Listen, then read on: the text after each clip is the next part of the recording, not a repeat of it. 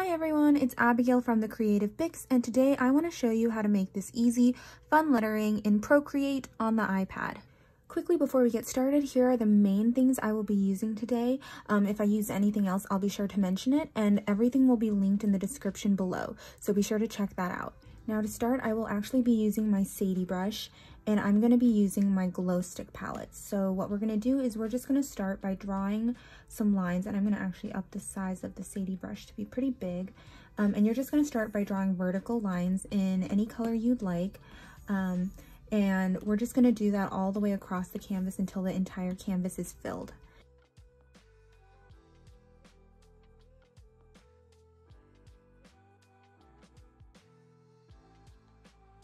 So now that you've laid all the colors down, um, they don't need to be perfectly or evenly spaced or vertical.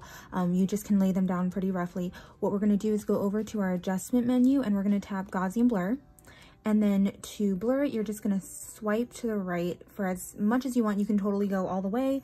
Um, I'm gonna probably just go to be about 23%. That looks pretty good. And then we're gonna go into our adjustment menu again and we're going to hit the liquify tool. And from there, you can decide, we're gonna do twirl right, and I like to have my size all the way up for this so I can cover a pretty large expanse of the canvas at the same time. And then distortion, we're gonna go all the way up as well. So then what you're gonna do is just tap and kind of drag and let it swirl wherever you like.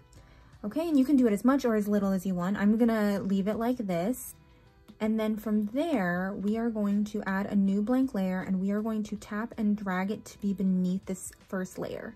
And what we're gonna do is we're actually going to tap and make this a clipping mask. So what happens is when you draw on the layer below, it'll show up.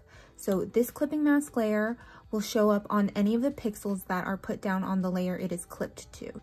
So to do the fun lettering today, I'm just going to show you which brush we're using. We're using the pudding brush from my um, Shiny Chic collection, the one that is pressure sensitive and will work best with an Apple Pencil because you can see that when you press lighter, you'll have a thin stroke and as you start to press harder, you'll get um, a bigger, thicker stroke there. So now I'm just going to get rid of that layer and I'm going to draw on this layer beneath and you can see those beautiful colors coming through and you can see that shine just a little bit, but there's actually a little bit more depth in this brush that you saw before. So what's gonna happen is we are going to change the blend mode on top, on this top layer to overlay. And you can see the colors completely changed and that is because this top layer is mixing with that bright purple that we were using. And so what we're gonna do is I'm gonna clear that layer, but keep it.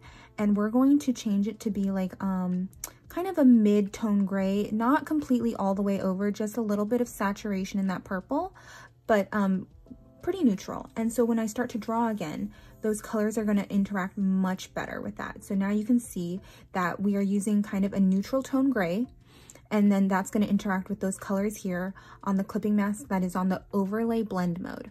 And really quick to show the difference in those blend modes, this is when you um, use the Shiny Chic brushes with the normal blend mode.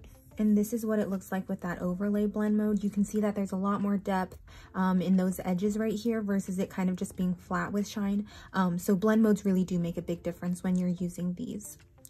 Okay, so we're just gonna clear that layer again, and now you can start lettering on this bottom layer here. So as I'm lettering, I'm keeping in mind how hard I'm pressing at each stroke. Usually on down strokes, I'm a little bit heavier handed. And then on the up strokes, I make it a little bit, I pull up my pencil so I have lighter pressure and it's a little bit of a smaller stroke. And so just keep that in mind as you continue to letter um, lighter on the up strokes, heavier on the down strokes. And then to finish off the piece, I am going to add just a little bit of an exclamation mark and you have your final lettering design. If you're happy with the end result and you like the way it turned out, you're good to go. But I want to also show you how to add um, a different color background um, in case you want it not just plain white. So to do this, I am going to add a new layer on the very top and I'm going to take the color black and I'm just going to fill that whole entire layer. And then I'm going to tap and I'm going to drag it to be beneath everything.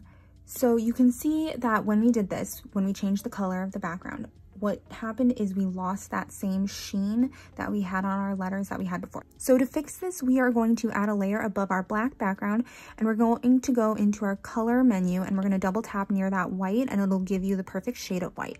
and you can go in and you're on that layer beneath the lettering and you can go in with like the Sadie brush again or a brush of your choosing and you could fill it in by hand and do every little shine that you need to fill back in. But there's an easier way to do it. So I'm going to go back and what we're going to do is to do the faster method, you are going to tap on your layer with the lettering and you are going to actually go over to the selection tool and make sure you have automatic selected for that and you are going to tap on the outside of the letters. So I'm going to tap and you might have to edit your selection threshold. So to do that, you can tap and drag um, to up the threshold and we don't want that or go all the way down. Um, I'm to go to be about, let's do um, 56%. We'll see if that works. And then I'm to tap on the two insides of the Y and the A. Okay, so now everything outside of those, those letters are selected. And what we're to do now is we're going to invert so only the letters are selected. And that way you make sure you catch all of the shine um, there as well. So what we're to do with that selected is we are going to go down to our bottom layer and we're going to tap fill layer with that white color. So fill layer and now only the letters have that shine with that white underneath and if you take that away you can see the difference there so that's one way to add a colorful background um, and maintain that shine so there you go. I hope you enjoyed this tutorial. If you recreate this, I would love to see it. You can tag me on Instagram at The Creative Bix. And if you enjoyed this tutorial, be sure to hit that like and subscribe button and click the notification bell to get notified every time I upload a video. Thanks for watching.